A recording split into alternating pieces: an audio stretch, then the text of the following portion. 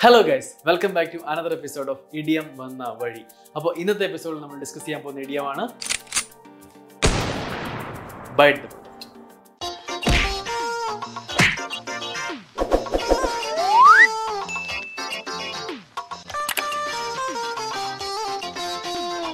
bite. The means to deal with deal unpleasant or unpleasant situation which cannot be avoided.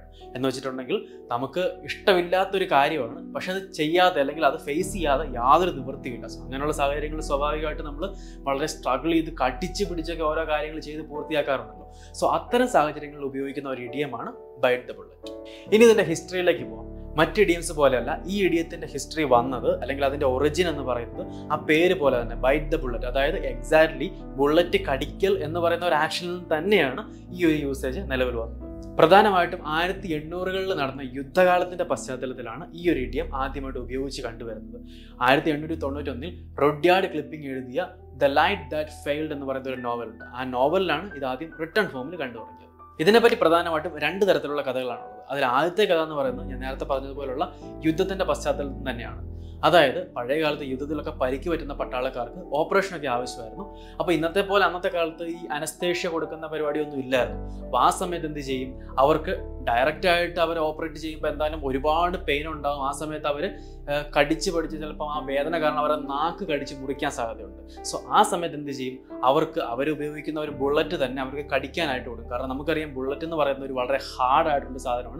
കടിച്ചാൽ അങ്ങനെ പൊട്ടിപ്പോകുന്ന ഒരു കാര്യമല്ല. So ഈ വേദന കടിച്ചമർത്താൻ വേണ്ടി അവർ ബുള്ളറ്റ് കടിച്ചു പിടിക്കുമായിരുന്നു ഇതിന്റെ പശ്ചാത്തലത്തിലാണ് ബൈറ്റ് ദ ബുള്ളറ്റ് വന്നതെന്നാണ് ആദ്യത്തെ കഥ. ഇനി രണ്ടാമത്തെ കഥ എന്ന് പറയുന്നത് ഇന്ത്യയുടെ പശ്ചാത്തലത്തിലുള്ളതാണ്. നമുക്ക് എല്ലാവർക്കും അറിയാം പഴയ കാലത്ത് ബ്രിട്ടീഷുകാരുടെ സൈന്യത്തിൽ ഒരുപാട് ഇന്ത്യക്കാർ ജോലി ചെയ്തിട്ടുണ്ട്. അപ്പോൾ ആ കാലഘട്ടത്തിൽ എൻഫീൽഡ് റൈഫിൾ എന്ന് പറയുന്ന ഒരു തരം ഗണ്ണാണ് ഉപയോഗിച്ചുകൊണ്ടിരുന്നത്. അപ്പോൾ അതിനകത്തേക്ക് ബുള്ളറ്റ് ലോഡ് ചെയ്യുന്ന സമയത്ത് ഈ പട്ടാളക്കാർ ഈ കാഡ്രിഡ്ജിൽ നിന്ന് ഇത് കടിച്ച് പൊട്ടിച്ചിട്ടാണ് ഇത് ലോഡ് ചെയ്തുകൊണ്ടിരുന്നത്. സോ ഇങ്ങനെയുള്ള സാഹചര്യത്തിലുള്ള പ്രശ്നം എന്തെന്ന് വെച്ചിട്ടുണ്ടെങ്കിൽ ഈ കാഡ്രിഡ്ജിന്റെ എഡ്ജിൽ അവിടെ ഗ്രീസ് ചെയ്തിരിക്കുന്നത് ഓർക്കിന്റെ ഫാറ്റ് വെച്ചിട്ടാണ്.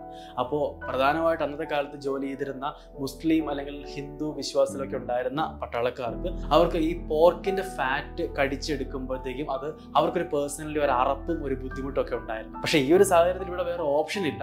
കാരണം എതിരാളികൾ മുമ്പിൽ നിൽക്കുകയാണ്. ആ സമയത്ത് നമുക്ക് ബുള്ളറ്റ് ലോഡ് ചെയ്യുക ഫയർ ചെയ്യുക എന്നല്ലാണ്ട് വേറൊരു ഓപ്ഷൻ ഇല്ല. സോ ആ സമയത്ത് അവർ മനസ്സില്ലാ മനസ്സോടുകൂടി അത് ചെയ്തിരുന്നു. സോ ഈ ഒരു പശ്ചാത്തലവും ബൈഡ് ദ ബുള്ളറ്റിന്റെ ഹിസ്റ്ററി ആയിട്ട് പറയപ്പെടുന്നുണ്ട്. നമ്മൾ കണ്ട രണ്ട് സാഹചര്യങ്ങളിൽ ഒരു അൺപ്ലസന്റ് ആയിട്ടുള്ള ഒട്ടും അവോയ്ഡ് ചെയ്യാൻ പറ്റാത്ത രണ്ട് സാഹചര്യങ്ങളാണ് കണ്ടത്. അതായത് ഇപ്പോൾ ശസ്ത്രക്രിയയുടെ കാര്യത്തിലാണെങ്കിലും സ്വന്തം ശരീരം കീറി മുറിക്കാൻ ആർക്കും വലിയ താല്പര്യം ഉണ്ടാവില്ല. പക്ഷേ ശസ്ത്രക്രിയ ചെയ്തേ പറ്റൂ. അതേപോലെ തന്നെ ഈ ബുള്ളറ്റ് കടിച്ചെടുക്കുന്നതാണെങ്കിലും അവർക്ക് പേഴ്സണലി ബുദ്ധിമുട്ടുണ്ടെങ്കിലും എതിരാളികൾ അവരെ ആക്രമിക്കും എന്നുള്ള സാഹചര്യം ഉള്ളതുകൊണ്ട് അവർക്കത് ചെയ്തേ പറ്റൂ. സോ ഈ രണ്ട് സാഹചര്യങ്ങളിലും ഒരു അൺപ്ലസന്റ് ആയിട്ടുള്ള സിറ്റുവേഷൻ അവോയ്ഡ് ചെയ്യാൻ പറ്റാത്തൊരു അവസ്ഥ അങ്ങനൊരു സാഹചര്യത്തിന്റെ പശ്ചാത്തലത്തിലാണ് ബൈറ്റ് ദ ബുള്ളറ്റ് എന്ന് പറയുന്ന ഇ ടി എം നിലവിൽ വന്നത്.